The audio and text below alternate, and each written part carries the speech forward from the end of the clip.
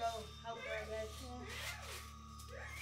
I wonder if there's anything else in here though. We should try to help her and then explore more.